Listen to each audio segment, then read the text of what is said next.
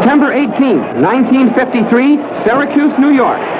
Kid Gavilan, the Cuban Hawk, defending the world's welterweight title against Carmen Basilio, the challenger from nearby Canastota, New York, in a scheduled 15-round bout.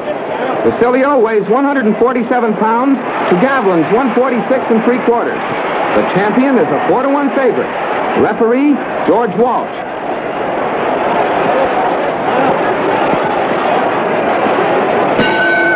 Round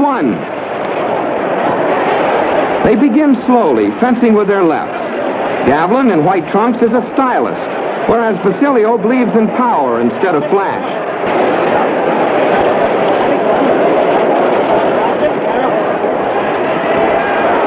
Basilio has had 50 fights, winning 36, losing 10, with four draws. 17 have been by knockout. Gavilan has KO'd 27 opponents. In 111 bouts, Gavilan has won 94, lost 14, and had four draws.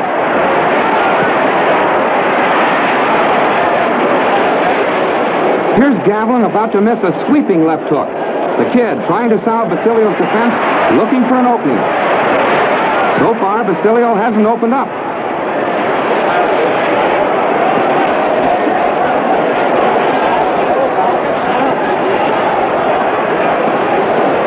Now you'll see Gavilan land a right, followed by a left to the body. And here's another combination.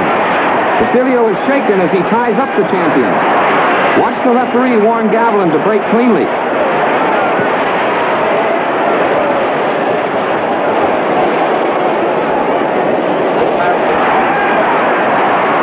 Coming up, two rights by the kid.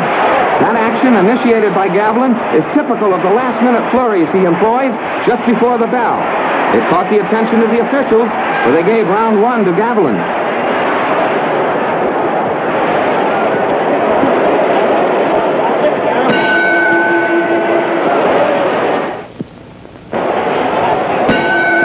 Round two. Let's watch for the knockdown. Gavilan flicks in his left. Basilio, moving away from it, looks for an opening. The challenger is an effective hitter with either hand. Gavilan forces his man back. Basilio bobs and weaves to escape Gavilan's left.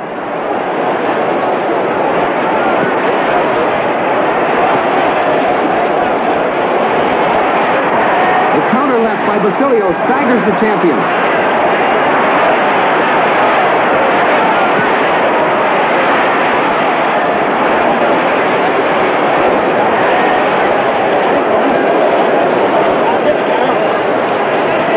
Watch closely as two left hooks in rapid succession by Basilio send Gavilan sprawling to the canvas. And for the second time in 111 bouts, the champion is down. Gavilan takes a nine count from referee Walsh. 7,000 fans are on their feet, electrified with excitement. Remember, this is Basilio's home territory, and from all over this War Memorial Stadium come cries for a quick knockout.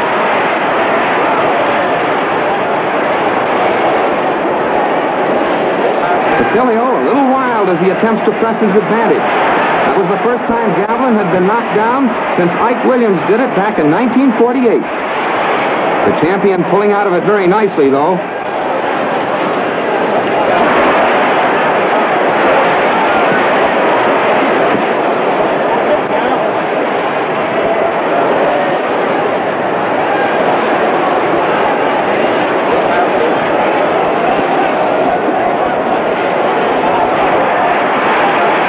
Gavilan ties up Basilio. He's remarkably cool and calculating after that knockdown.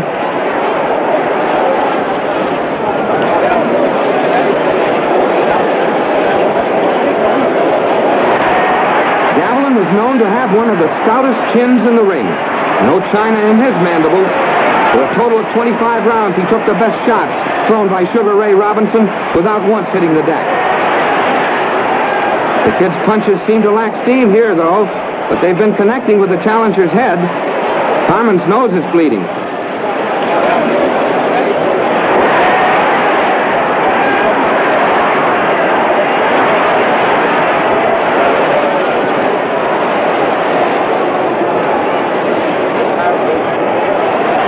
Basilio exerting a great deal of pressure.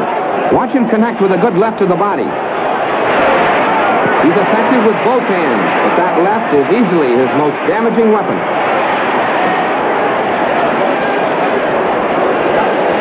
In the final seconds of round two, we find Carmen Basilio a very competent challenger.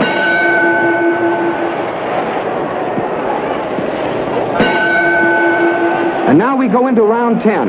Basilio built up a decisive early lead, but the champion began his rally in the ninth round.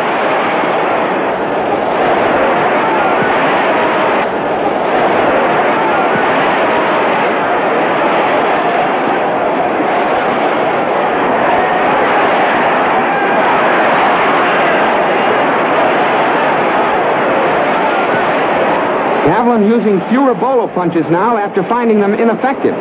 But to prove that he hasn't deserted them completely, he's going to try two more, doubling up with his right hand. Watch. There they are.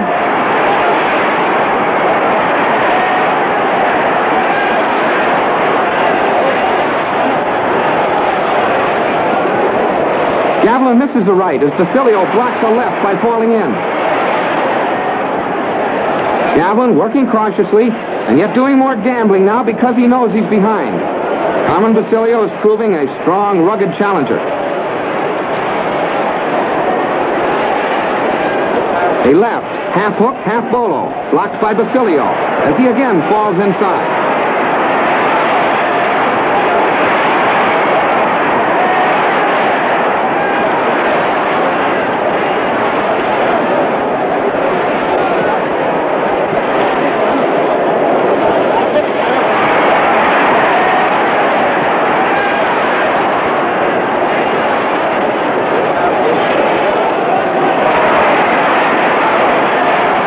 Gavilan working on the head in the clinch, and Basilio's nose once again is starting to bleed.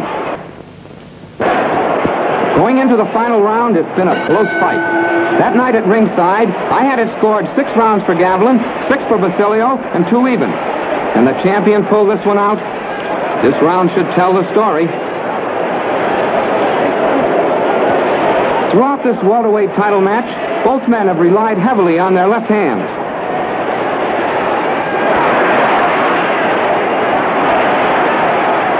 You can see Gavilan landing those lefts as he snaps Basilio's head back.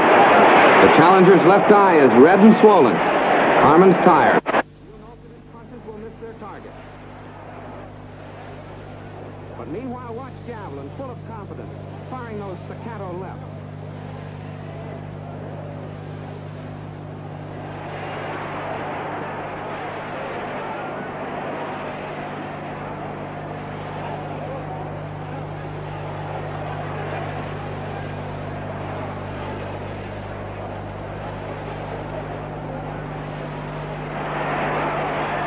A flurry, but neither man doing any damage.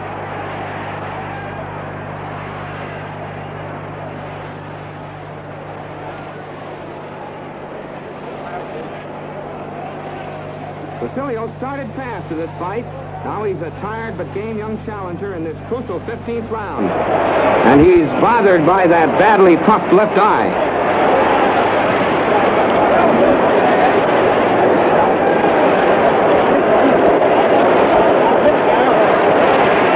Basilio trying one last flurry, missing, and forced into a corner in the final seconds of the round.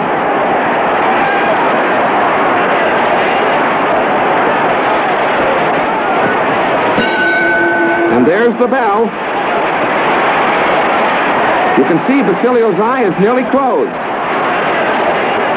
The gloves are cut from Gavilan's hands. Basilio's overjoyed. He thinks he won. So does Judge Jack Kimball, a local official, who voted for the challenger, seven rounds to five with three even. Judge Harold Barnes scored at seven, six, two for Gavilan. Referee George Walsh, eight, six, one in Gavilan's favor. So the winner, welterweight champion of the world, is Kid Gavilan.